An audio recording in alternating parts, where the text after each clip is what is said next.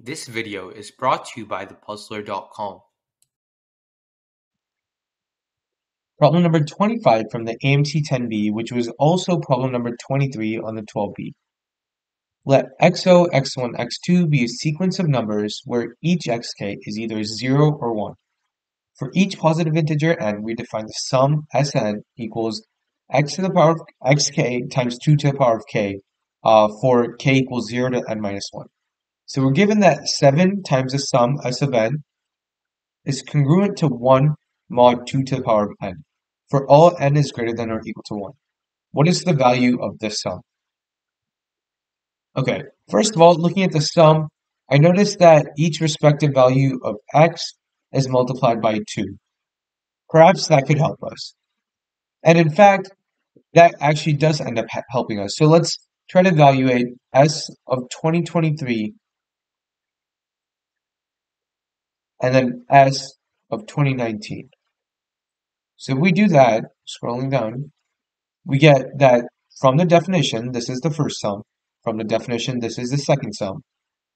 And a lot of the stuff factors out. We can actually factor out 2 to the power of 2019, and then the xk's would cancel out.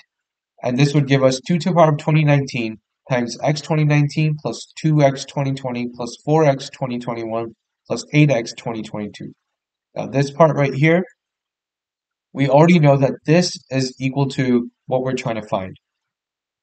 So we can say that what we're trying to find is actually S 2023 minus S 2019 over 2019.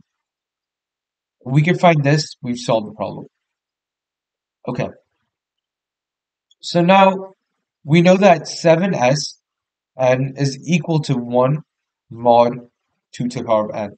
So applying this for n equals 2023, we know that 7 times s 2023 equals 2 to the power of 2023 plus, or times y plus 1, since it's 1 mod that. If you were to take this mod 2 to the power of 2023, this right hand side would just be 1.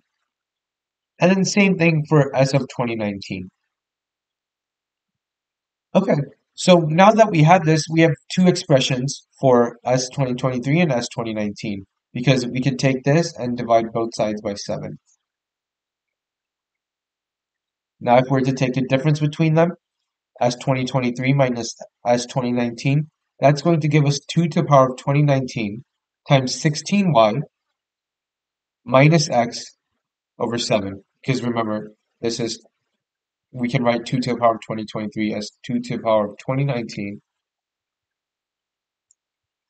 times 2 to the power of 4 y plus 1. Okay, well, we have this, but there's not really any much farther that we can go than this using this approach.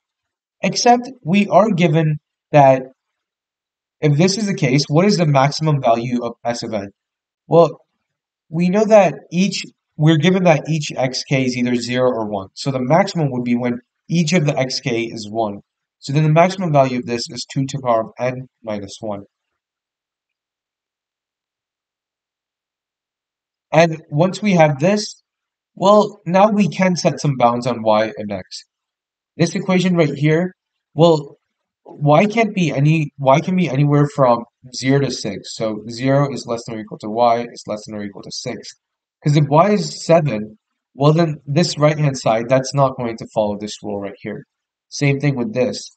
x is greater than or is less than or equal to 6 and greater than or equal to 0. Okay, so then what do we do from here?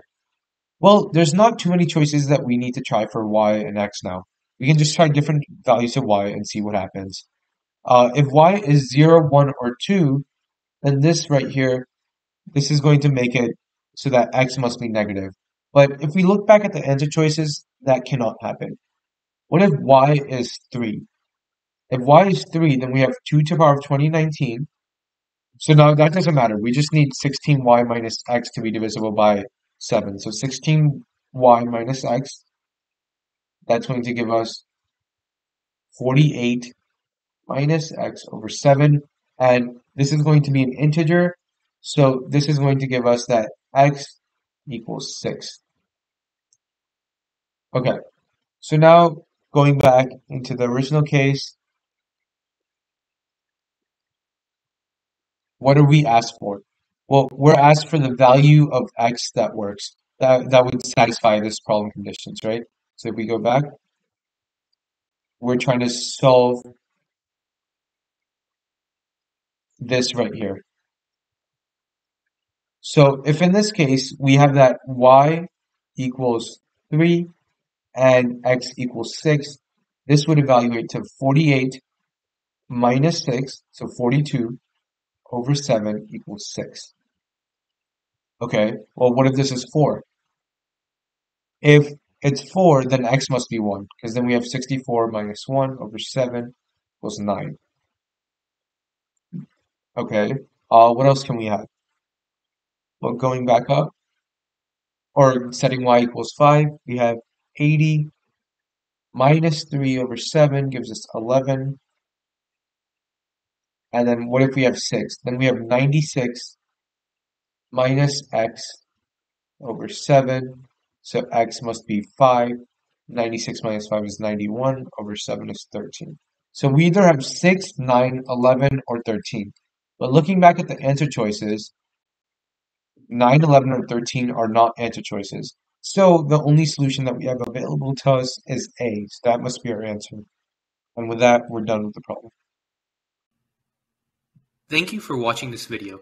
If you liked or enjoyed this video, make sure that you give it a like and subscribe to our channel. For more amazing content, you can check out thepuzzlr.com.